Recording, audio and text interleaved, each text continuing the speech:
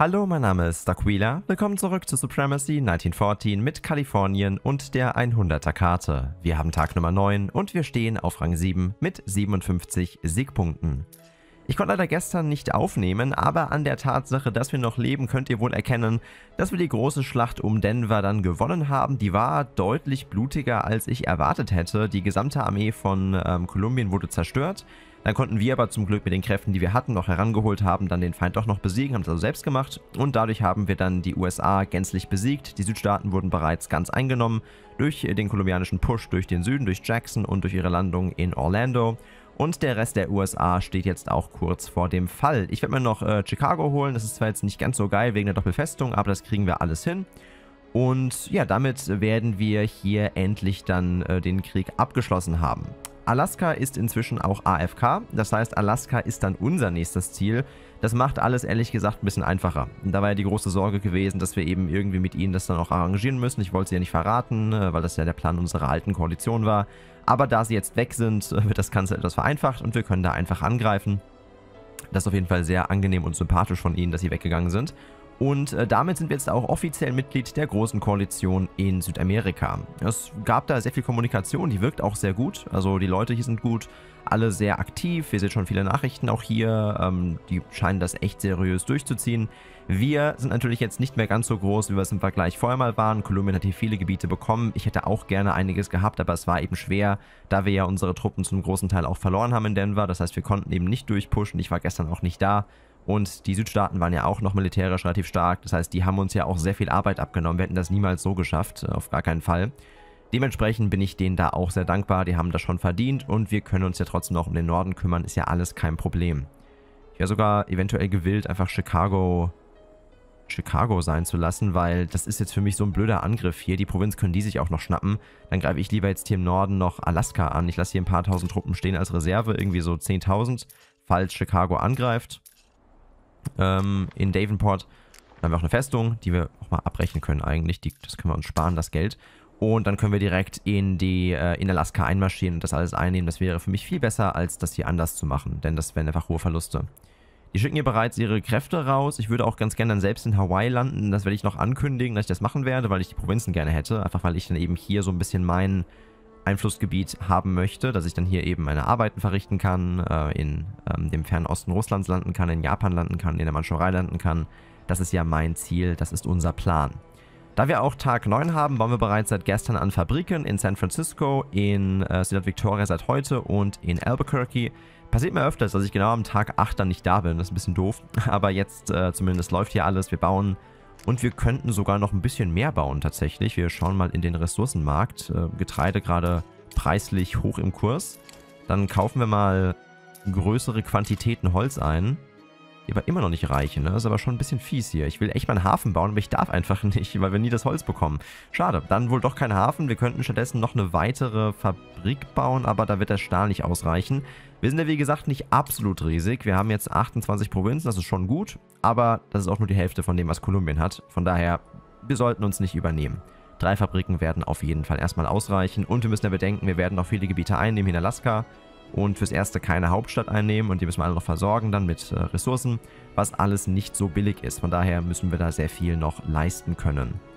Die Truppen hier können ja auch schon mal hier hingehen damit hier einige ähm, Garnisonen bereitstehen für den Angriff. Ich würde schon morgen versuchen anzugreifen, wenn das geht. Wir müssen schauen, ob es geht. Mit den äh, Reserven sollten wir das eigentlich schaffen können. Turtle Mountain ist ja auch bereits, ich weiß gar nicht, warum ich da hingehe eigentlich. Das ist ja eigentlich schon befestigt. Dann können wir hier mal hier rüber gehen. Und dann hier schnell Great Falls, äh, Spokane einnehmen und dann einen direkten großen Push machen nach Kamloops. Doppelholz, sehr gut. Calgary, Holz, sehr gut. Brauchen wir alles. Nochmal Holz, nochmal Stahl. Diese vier Provinzen lösen all unsere Probleme. Super. Und ja, dann werden wir hier uns auf den Weg machen, uns international auszubreiten. Der Talk bei uns liegt bereits darin, dass wir versuchen wollen, einen Ally zu finden irgendwo. Das heißt, ein Ally für uns, der dann den zweiten Platz eventuell mitnehmen kann, wenn es da jemanden gibt, der Interesse hat. Wir suchen noch aktuell, denn Mosambik wird es natürlich nicht sein. Die spielen hier auf Sieg und zwar wirklich äh, mit allem, was sie haben, haben eine große Koalition gebildet. Viele zwar AFK, aber das muss sie ja nicht stören. Die sind wirklich riesig, mit unserer größter Konkurrenz sein demnächst. Ich hoffe, dass jetzt hier Bolivien und Co schnell nach Amerika sichern können, bevor hier die ersten Gruppen ankommen. Ähm, auch die Falklandinseln und äh, King Edward Point wären gut. Denn das hier drüben wird eine große, eine große Sache werden. Ich muss dann auf meine Allianz vertrauen, weil unser Job muss es ja wirklich sein, hier oben aktiv zu werden. Der Nordpazifik, alles nördlich der Datumsgrenze, ist unser Auftragsgebiet. Kolumbien muss dann so ein bisschen verschiedene Dinge tun. Die werden sicher auch hier helfen, aber die werden auch dann Richtung Europa tätig sein.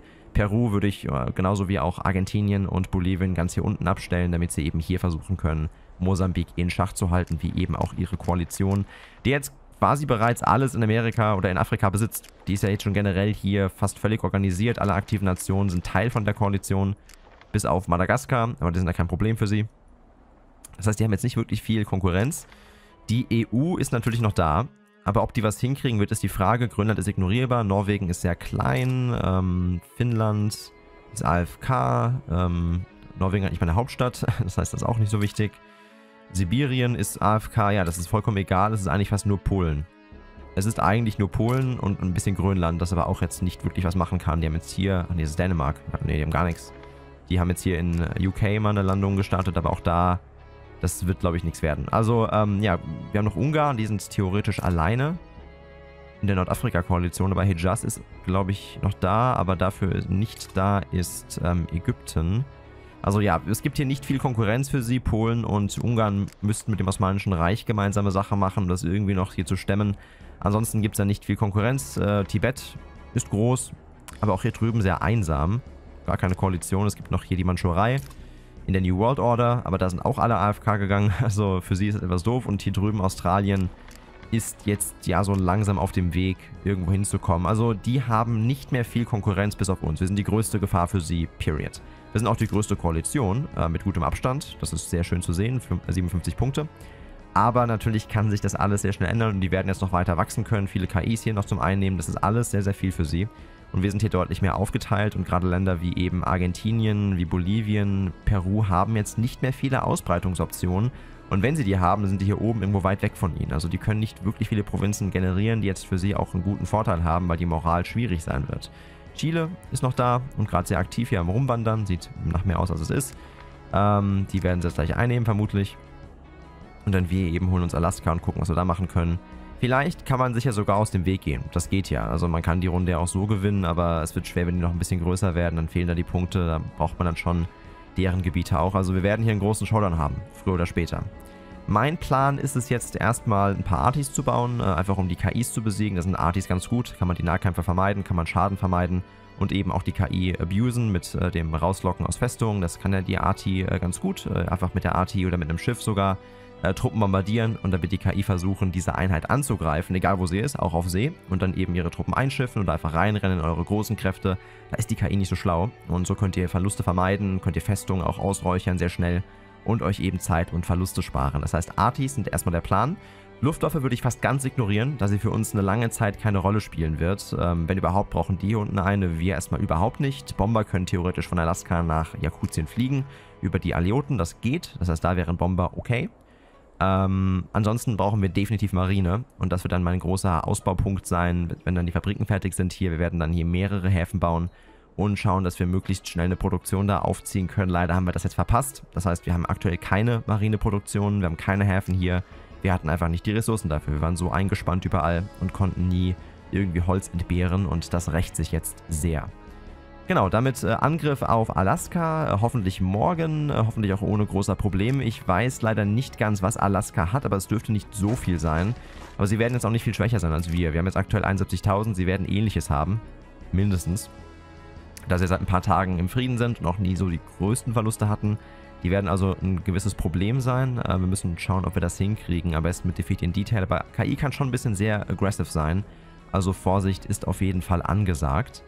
Und dann schauen wir einfach mal, wie sich das alles dann da ergibt und was sich ergibt und ob wir es schaffen können, hier möglichst schnell klar Schiff zu machen. Kanada habe ich keine Ahnung, was mit denen ist. Ähm, die werden wir sicherlich nicht reinnehmen in die Koalition. Ähm, die werden vermutlich angegriffen werden von Peru und Kolumbien demnächst. Ich bin wirklich sehr gespannt auf diese Koalition. Ich bin froh, jetzt hier gelandet zu sein. Es tut mir leid um die Leute, die es nicht geschafft haben. Um die USAs, ja, also gut, die waren ja nie böse zu uns, aber die waren böse zu Alaska. Von daher bin ich da auch jetzt nicht ganz so traurig drüber. Na, die waren ja auch nicht aktiv.